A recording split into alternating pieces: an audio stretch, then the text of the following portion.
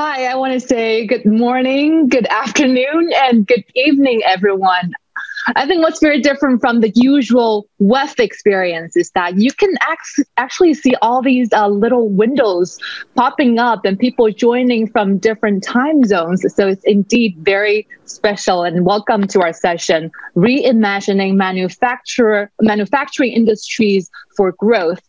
And my name is Lisa Sixuan, and I'm an anchor with China Central Television's business channel, as well as a member of the WEF's Young Global Leader community. We all know that the world has experienced tectonic changes since we last met in Davos in person around the same time last year. And at that time, it would have been very hard to believe that my study would one day be live streamed on the WEF's website. And perhaps more so than ever in our lifetimes, manufacturing companies have seen shocks and changes in supply and demand and are now faced with this unique challenge to reinventing themselves to become engines of economic growth. And I want to give you some background of our session. So, our session is part of the two initiatives under the forums Shaping the Future of Advanced Manufacturing and Production, focus uh, this is the focus area in the platform. And the first initiative is the global lighthouse network uh, which aims to accelerate the more inclusive adoption of advanced technologies in manufacturing. And to date uh, 54 manufacturing lighthouses have been identified uh, from different industry sectors. And the other initiative, which I would also like to make special mention of, is the New Business Models Initiative, and that is led by the WEF's Global Future Council.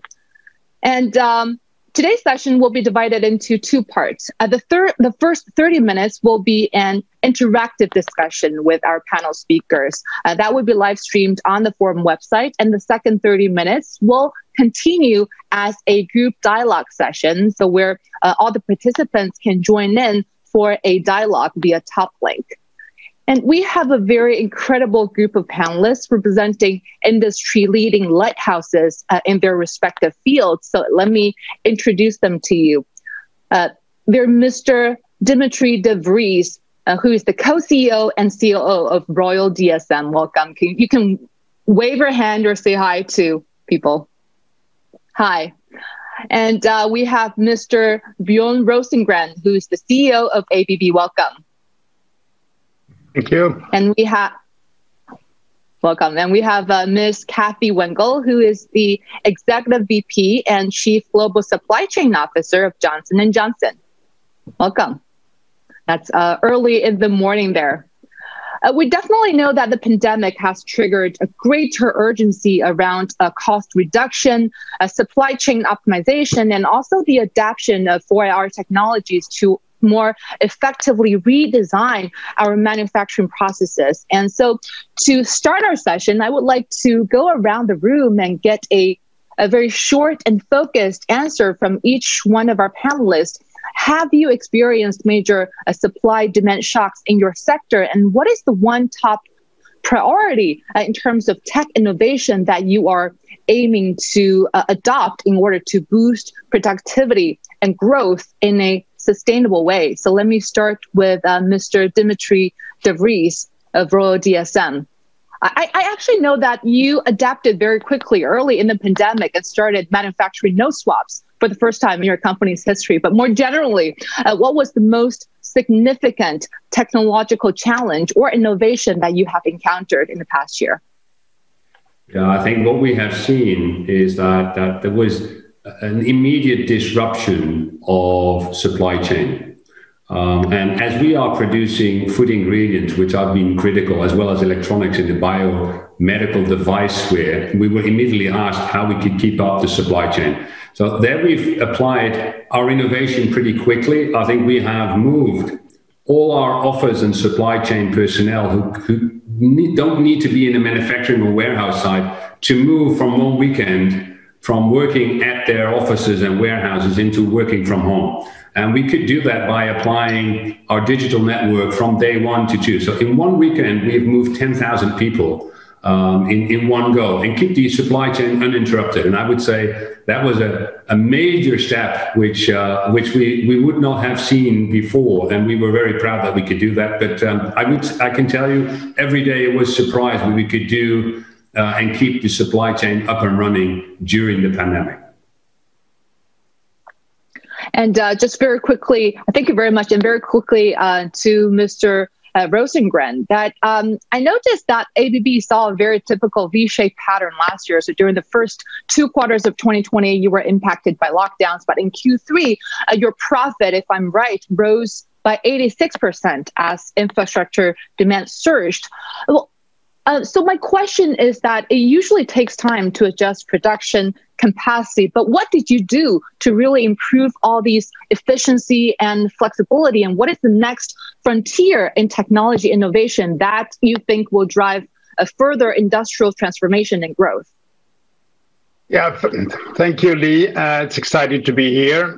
It's been a challenging year, not least for me, as I'm quite new in in ABB. And of course, going into the pandemic, uh, there are of course huge challenges for a company like ABB, which is global and in so many different parts of the world. We are also supporting so many different uh, segments of the world, and of course, there's been different challenges in different parts.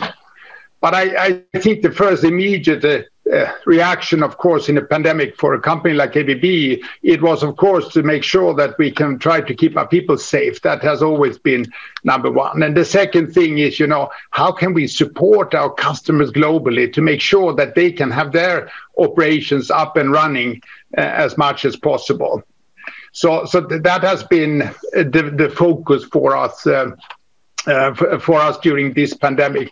Then I think if we're going more into see a little bit what is actually happening in the industry and what has been uh, important for us, we can see that um, there are things that is influencing the transformation of industry, and there are certain trends which we see are important. One thing is that uh, you know consumers are asking for more customized individual uh, products i mean which leads to shorter production series. So you have to adopt your production according to that. We see also higher uh, unpredictability and therefore uncertainties and fluctuation in bands and i think covid is a very good example of that. And i think as number three i think there is also um, we see also, of course, the technology which has been available during this whole period, including artificial intelligence and, and um, connectivity. And I think all of this has, has helped us to drive the trends, to support our customers, to help them be more flexible, but also to work more simply.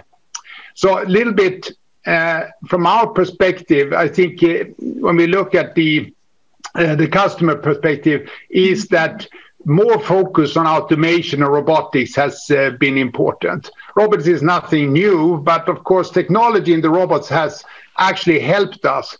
Uh, you know, both because they are more intelligent today, easier to operate, and it helped us customers to become a little bit more flexible. So I think that's been important parts uh, to uh, to work. Then, of course, in the pandemic, costs have been much lower as we've been traveling, and we're using technology to actually uh, support our customer in an efficient way. And we learned to adopt this, and that has actually helped us to produce better numbers.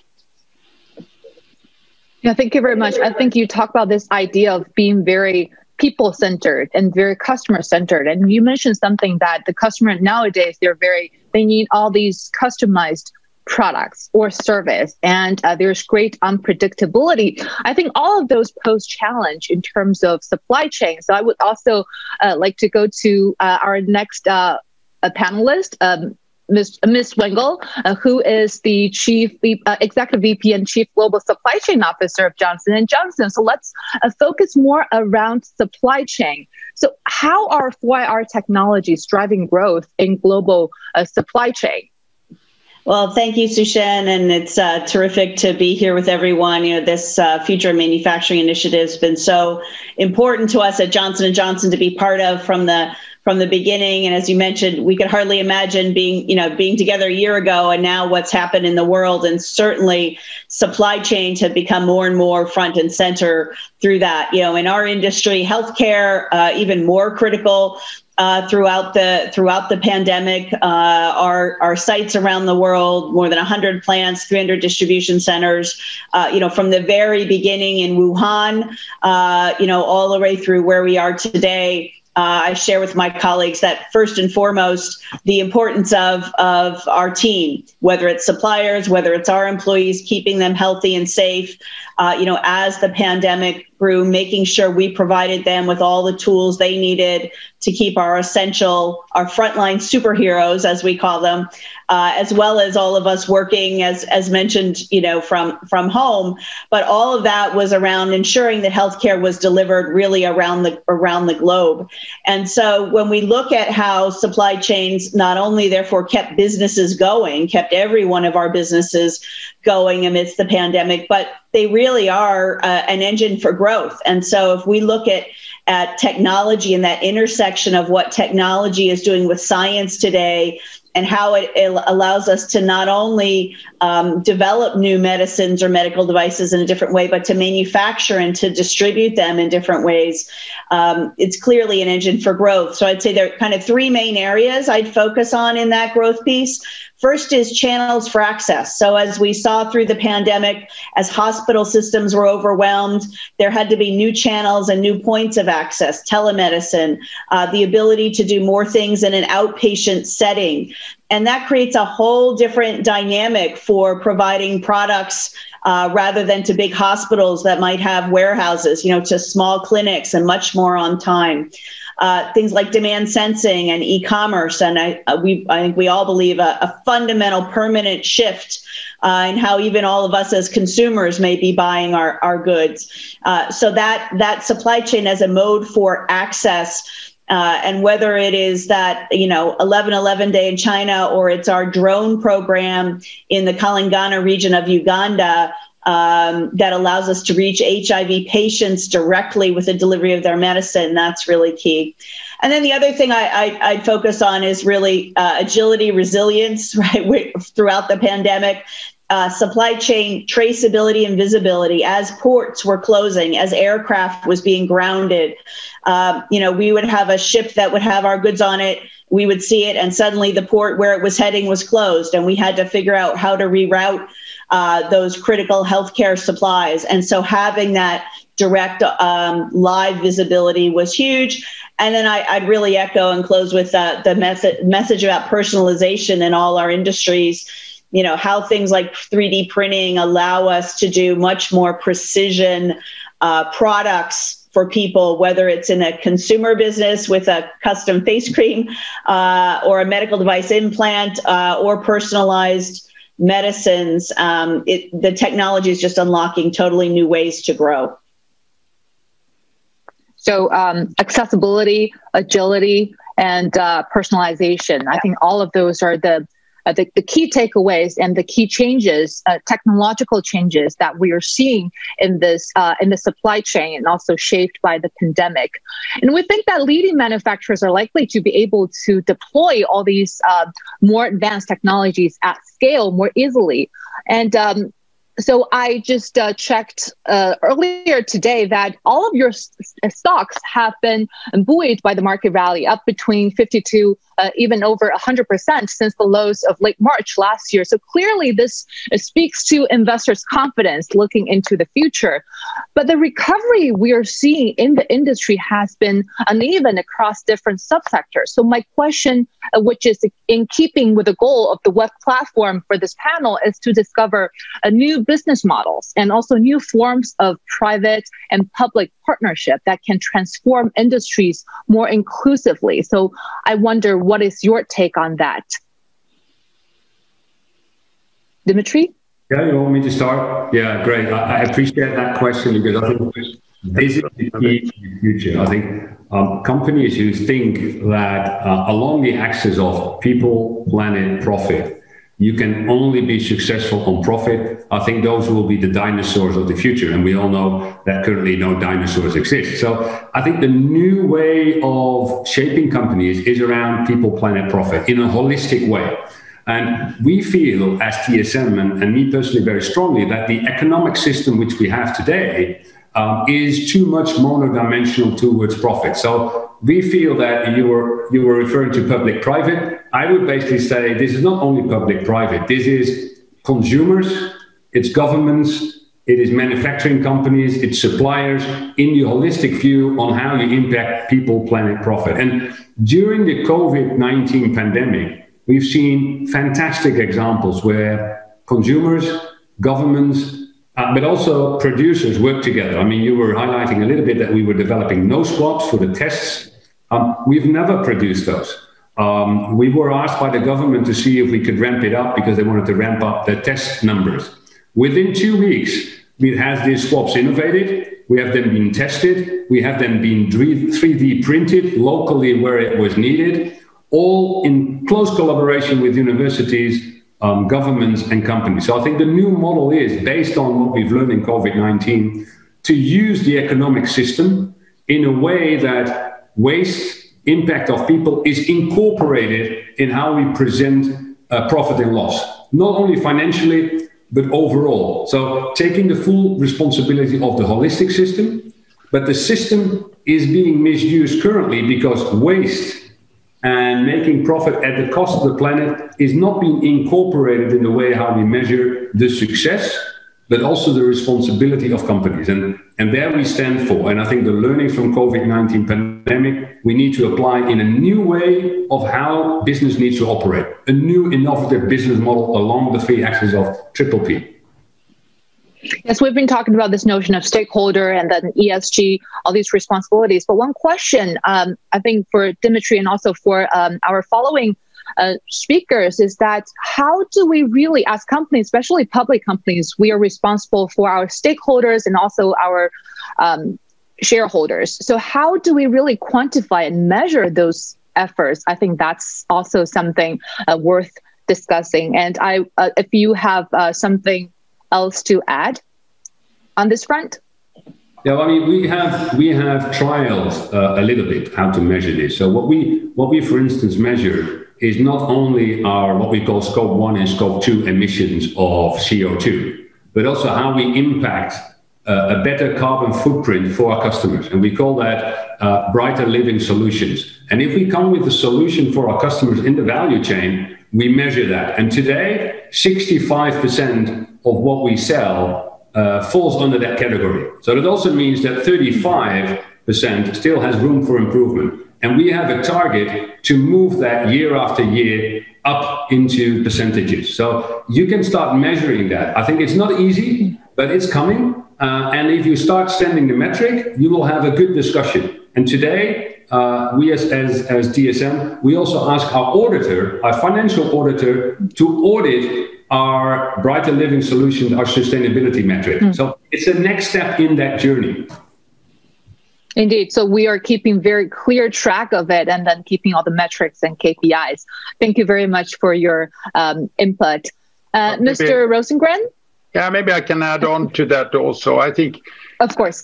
Yeah, I mean, I think it's important for all our stakeholders. And you know, of course, we have our financial measures that we need to to reach, but of course, they're becoming uh, other objectives, and we have so many stakeholders who look upon us in different way.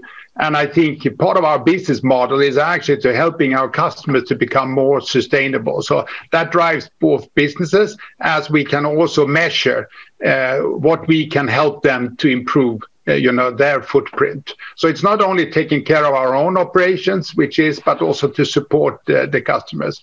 And we see more by investors and uh, it, it's also our financial investors who, who take this very high up on the agenda because they see that the companies that will be successful in this will also be more successful into the future. Hmm. so i guess the ecosystem has to thrive so that everyone will benefit from it. But then, uh, Mr. Rosengren, I'm just wondering, um, following um, what you just said, are there any new business models that you're currently planning to adopt or exploring in terms of creating these new fa- value for all of your stakeholders and whole, whole society? You know, I think in, in the end, uh, you know, our success is the success of our customers. And the new technology gives us opportunities that we uh, didn't have uh, before. And just an example, so we, we have something which we call the collaborative operation offerings. Uh, and I think uh, this is a way where, you know, customers uh, can connect their production sites, but also vessels and mines all over the world. And they can be connected and they can be supported 24 7 remotely you know by the digital technology which being uh, available. Uh, and um, and uh, that really helps them to adapt their business models uh, at a certain thing you know what what's what's taking place you know, uh, besides that, uh, the customer sides, I think also even uh, governments around the world are embracing, you know, the benefits of this technology. And I think it can, in terms of, you know, to create both resilience and security. And we see some countries are also looking into the role that robots can play as part of national contingency plans, both in terms of production of critical goods as well as in healthcare system. I just give you an example. In, in Singapore, for, for instance, one of our collaborative robots are supporting uh, the, the healthcare system with uh, processing 50,000 COVID tests every day, you know, with these uh, with the robotics, which is mm-hmm. actually ensuring consistent quality, but also freeing up medical personnel and reducing the risk of infection. So it's actually using the digitalization and automation, you know, to create this collaboration. I think by using that, new business model can actually be created. Yes, being from this part of the world, I actually uh, did read about the story of your uh, cooperation in Singapore and also in Thailand about uh, about having robots helping um, helping develop vaccines and all these um, public health projects.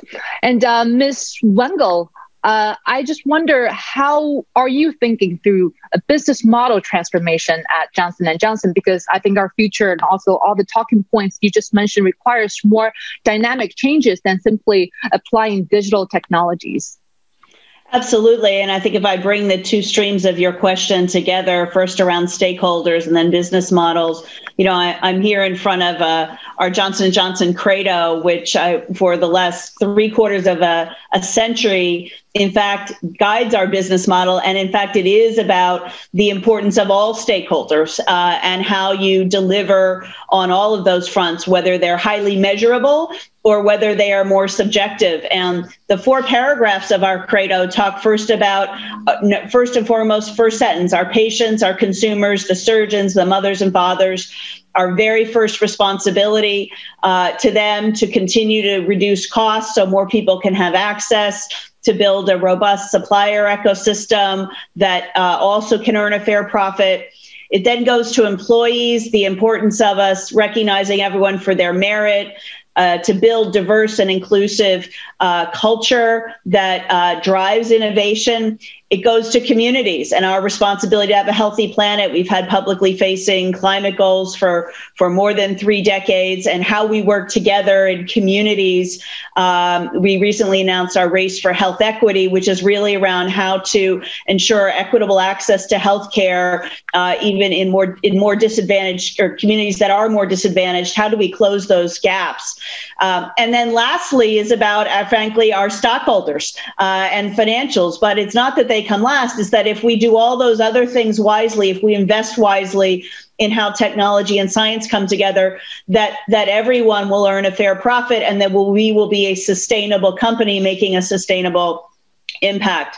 So that really is our business model. And over 135 years, you know what what and how that business model works with uh, healthcare systems around the world certainly has evolved. Um, I think one area for us, uh, you know, our our goal building the digital thread for healthcare is around uh, we talk Internet of Things. Let's talk about the hospital of things and how do we help uh, hospitals, no matter where in the world, use from the simplest technology to the most advanced robotics. Uh, you know, use digital to really drive down the cost of care, enable more access, and most importantly, enable healthcare workers to be more effective, to spend more of their time on delivering care than of managing, you know, where inventory is in the hospital, of figuring out which patient needs which size knee that's going into surgery tomorrow. Let's let digital drive all of that. So those are some of the areas that we're uh, we're working on. And that sounds very promising. Uh, in fact, how far do you think we are uh, from getting there? Because um, I think it's, I think it's something we want to achieve, but it's very different from what we're seeing in the news every day. Well, I think it, you know, there's like anything where there's a very wide variation, right? You have some of the most advanced government run, you know, health systems. If you take the UK and the amount of data, for example, they've built around the virus and the pandemic in a very methodical way, very quickly, and how that data is being used to guide what they do. And then you go to other advanced economies that don't haven't harnessed digital as much, or to hospital systems that have been able to manage these surges versus others that just at a fundamental level, you know, don't have the, the resources or the support to do that. So, you know, our, our goal is to make sure you bring the right tool and the right solution for the right problem. Uh, you know, a, a phrase that uh, I remember from some decades ago, uh, working in some different countries, was around don't bring me an airplane if I need a bicycle. Uh, so how do you help make sure that everyone, you know, can can improve and move there? And the beauty of digital and all things digital and te- on the 4IR technologies that as the costs go down, sometimes it's the simplest solution that just makes mm-hmm. a huge difference. Well, I mean, there are so many questions that I want to ask on that front, but due to the time limit, I have two uh, more questions that I'd like to touch upon before we uh, dive into the group dialogue. So one is on trade. So unfortunately, we don't have a representative from mainland China in our panel today. Um, I learned that among the 54 companies in the, in the global Lighthouse network, uh, 16 of them are Chinese companies. And I'm sure all of your companies either deal with or compete with or both uh, with Chinese companies. So one thing uh, we can't deny is that many manufacturers, they are caught up in the tussle between uh, trade tensions, protectionist, uh, national security interests, and also free markets. And where should we draw the line? And do you think an inclusive future can really exist in today's uh, tech and trade competition? Anyone wants to answer that question? Uh, look, I'll, I'll start. Uh, you know, as a global company, you know, we are are not only very proud of, but very committed to our global footprint. Uh, and uh, no matter what country we're in, the importance of healthcare is very clear. Uh, if we speak specifically to China, we're very proud to have been the first joint venture pharmaceutical company uh, in China more than four decades ago. And in fact, I'm very proud. One of our lighthouse factories is, in fact, our our medical device plant in Suzhou, China. China. So I think we, we all have to realize the world is interconnected, it is global. We all rely on each other, and we need to ensure, right, that we can maximize the value for patients uh, around the world by having access to the best the best technologies and the best uh, solutions. Yeah, yes, but indeed uh, we are. Uh, please, sure. No, please come on. So I I I heard someone talking, but then I'll continue. Um, so let's talk about uh, to talk more about uh, workforce because uh, uh, the pandemic is widening gaps in many different ways, and there will likely be a growing mismatch between the current workforce's skills and employer needs as the 4IR transforms industries. Uh, we guess a lot faster than workers can adapt, and how uh, well as we roll out more automation, how do we support the workforce and make sure that they do not fall behind? I can maybe Anyone? start there. Uh, I think this is, of course, a very important question. It's, it's been on the agenda for quite some time as, uh, uh, you know, technology evolves like it does. I think it, it all boils down to education. You know, we need to reskill the workforce, you know, to ensure that we bring them up and get them with us in, in this uh, technological uh, transformation is taking place. So very much is focused on uh, reskilling the, uh, workforce. Uh, maybe Li, I can I can build on that. Um, first of all, I'd like to come back on, your your trade question, right? I mean, uh, we're also a global company acting in all, countries, and we clearly want to state that um, the global trade and the the open trade economy we had really added to the growth and the, the, the prosperity of the world. The issue is that the division of that prosperity and welfare was not nicely distributed. There were people left behind.